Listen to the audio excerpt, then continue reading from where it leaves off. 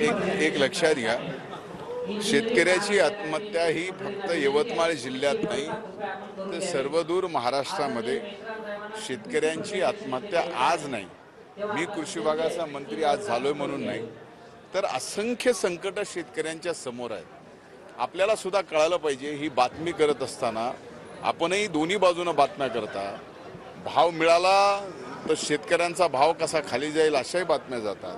भाव नाही मिळाला तर टमाटे फेकून दिल्याच्याही बातम्या करता आपणही लोकशाहीचं चौथं स्तंभ आहात. एक गोष्ट लक्षात घेतली पाहिजे की शेतकऱ्याची कायम या सगळ्या अडचणी कारण हा शेतकरी उभळ्या आभाळाखाली शेती करणारी एकमेव जात आहे.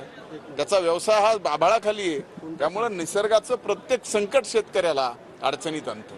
कधी अतिरी पाऊस आणतं गारपीट आणतं दुष्काळ आणतं पूर आहे. ह्या सगळ्या परिस्थिती शेतकऱ्याला सामोरं जावं लागतं. अशा संकटाच्या काळात अल्पकालीन दीर्घकालीन मध्य आणि द- दीर्घकालीन अशा उपाययोजना कराव्या लागतील. शेतकऱ्याला एक शाश्वत शेती चा आधार या ठिकाणी द्यावा लागेल जे आम्ही द्यायचा प्रयत्न करतोय. म्हणूनच शेतकऱ्याच्या हिस्सा यावेळेसचा पीक विम्याचा प्रत्येक पिकाचा हा राज्य सरकारने भरला. एक रुपयाच फक्त शेतकऱ्याला भरावा लागला. त्यामुळं जवळजवळ या राज्यातील शेतकऱ्यांचे पंधराशे कोटी रुपये त्यांच्या खिशातले वाचले.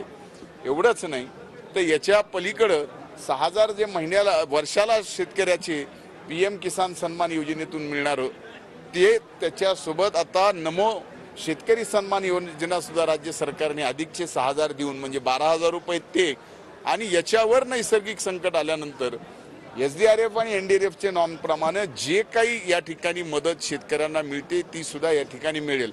आता जमीन खरडून गेलेली आहे. स्टँडिंग ऑर्डर सत्तेचाळीस हजार रुपये हेक्टर या ठिकाणी सरकारला द्यावेच लागतात. ते दिलेच जाणार आहेत. त्यामुळे अशा संकटाला आपण काही करू शकत नाही. ज्या वर संबंध निसर्गाच्या वर शेतकी शेती अवलंबून आहे. अशा वेळेस आपण काय करू शकतो? अब्दुल सत्तारांच्या अब्दुल सत्तारांचं जे कृषी महोत्सव मागे वादात सापडलं होतं त्याच्यावर सरकार कुठेतरी मेहर नजर दिसत आहे. पुन्हा चौपन्न लाख एकाहत्तर हजार रुपये मंजूर जे आहेत ते अब्दुल सत्तारांच्या कृषी महोत्सवाला करण्यात आले. पुन्हा एक मिनिट. हे पुन्हा तुम्ही जे प्रश्न विचारता तो प्रश्न चुकीचा आहे. तुम्ही परत एकदा तुमच्या ऑफिसला फोनवर तुम्ही ऑनलाईन आहे त्यांना विचारा नेमका प्रश्न काय विचारायचा आहे. मी नेमकं उत्तर तुमचा प्रश्न जरी असला तर नेमकं प्रश्नाचं उत्तर मी देतो. मी आपल्याला एवढंच सांगतो की या बाबतीमध्ये सत्तावन्न लाख रुपयाची देयकं देणं बाकी होतं. ते देयकं देण्याच्या संदर्भामध्ये कृषी विभागाला देयकं द्यायचे त्याच्यातला देयकं द्यावे का न द्यावे हे काही कृषी विभागाच्या मंत्र्याला विचारलं जात नाही. हे खालच्या पातळीवरती अधिकाऱ्यांनी या ठिकाणी तो निर्णय घेतलेला आणि ते देयकं दिले गेले. मन मनसे अध्यक्ष राज ठाकरेंनी कार्यकर्त्यांना आदेश दिलेले आहेत की रस्त्यावरील खड्ड्यांवरून आदेश दिले त्यांनी की कार्यकर्त्यांकडून तोडफोड देखील टोल नाक्यावर सुरू झालेली आहे सध्या. आता या बाबतीमध्ये तोडफोड करायची मनसेने आणखीन काय करायचं? लोकशाही ज्याला त्याला अधिकार आहेत.